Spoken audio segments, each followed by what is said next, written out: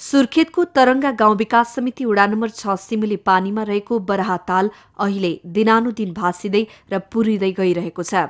तालको प्रचार प्रसार संरक्षण एवं सम्वर्धन हुन नसक्दा यसको अस्तित्व नै लोप हुने हो कि भन्ने आशंका उत्पन्न भएको छ।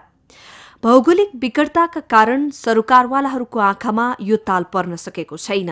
बराह ताल सँगसँगै रहेको खहरे खोलाले दुई भागमा ताल विभाजित बनाउँदै लगेकाले यसको भविष्यमा प्रश्न चिन्ह लागेको छ। अठारौँ शताब्दीको अन्तिमदेखि नै यहाँ ताल भएको अनुमान गर्न सकिन्छ। अनि यो तालको संरक्षण भइरहेको छैन अहिले होइन? यहाँ दुईवटा खहरे छन् यो पूर्वतिरबाट आइरहेको खहरेले अलिकति नोक्सानी गरिरहेको छ। यो ताललाई दुईवटा तालको रूपमा विभक्त पनि गरिदिएको छ यहाँ।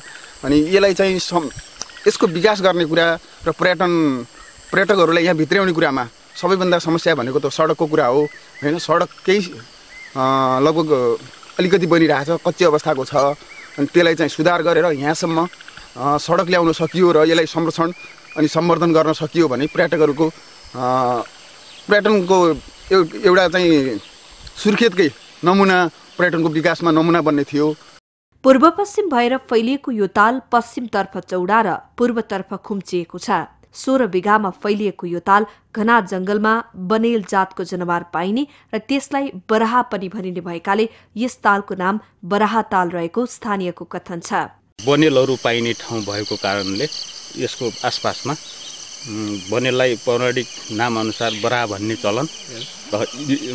एउटा त्यो नामबाट पनि रहन गएको देखिन्छ भने अर्को यो ताललाई सुकाएर यहाँका पुराना यस तरङ्गामा बस्ने राजी जातिहरूले पाँच छजना राजी जातिहरूले यसको निकासबाट यसलाई पानी सुकाएर यहाँ चाहिँ बस्ती बसाउने भनेर उनीहरूले चाहिँ त्यो निकास खन्न लागे।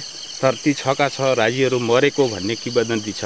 जलकुम्भी कमल आदि जातका वनस्पति पाइनुका साथै विभिन्न पशुपन्छी चराचुरुङ्गीको आवाजले यो ठाउँ रमणीय लाग्छ।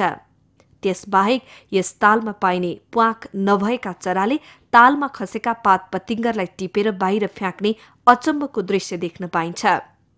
धार्मिक दृष्टिले पनि यो ताल महत्वपूर्ण छ। तालको छेउमा रहेको मन्दिरमा बराह देवताको पूजा आराधना गरिनुका साथै प्रत्येक वर्ष वैशाख एक गतेका दिन मेला लाग्ने गरेको छ।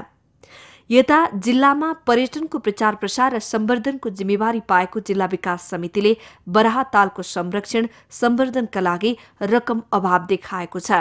जिल्लामा नेपाल पर्यटन वर्ष दुई हजार एघारमा बनेको पर्यटन विकास कार्यदलले यसको संरक्षणमा खासै ध्यान दिएको छैन।